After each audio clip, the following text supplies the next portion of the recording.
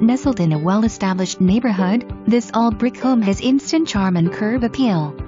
From the moment you walk into this traditional-style ranch home you will notice the built-in bookcase in the living room with large glass windows with natural light.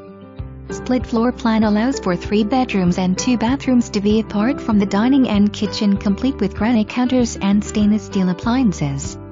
Need storage?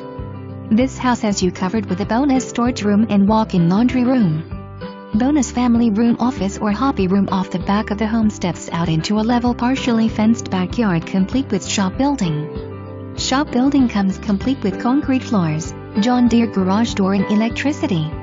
Truly a find for all ages.